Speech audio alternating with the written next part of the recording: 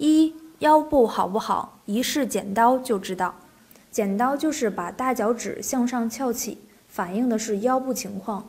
腰椎有问题或者是腰肌劳损的人，这个动作会做不到位。经常做这个动作，能够疏通脚拇指上的肝经、脾经、肾经。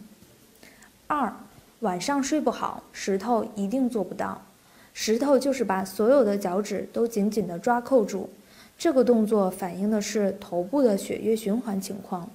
凡是睡不好、脑供血不足、精神压力大的人，一般也会做不到位。经常做这个动作，能够疏通脚上的膀胱经和胃经、胆经，可以从脚底到头顶，促进全身气血运行，特别是头部的血液循环。三，脚趾分得越开越好，你一定不知道。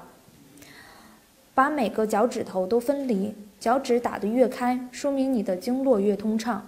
三个动作打通腿部六条经络，每晚睡前反复剪刀石头布五分钟，通经络又保健。经络通了，睡得好，更有体力，气血足，活络畅。